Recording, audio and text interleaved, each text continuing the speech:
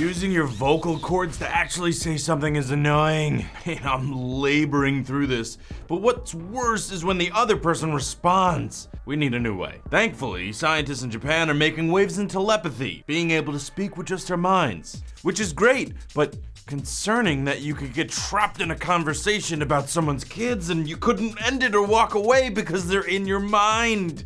Ugh.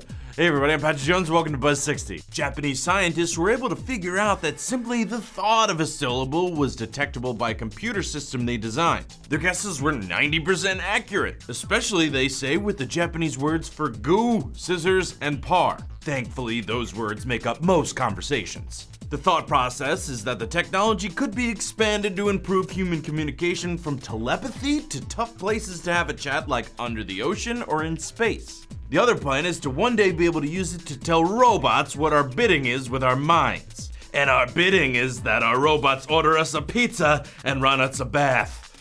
It's been a hard day. But 16, ain't no? Pass it on.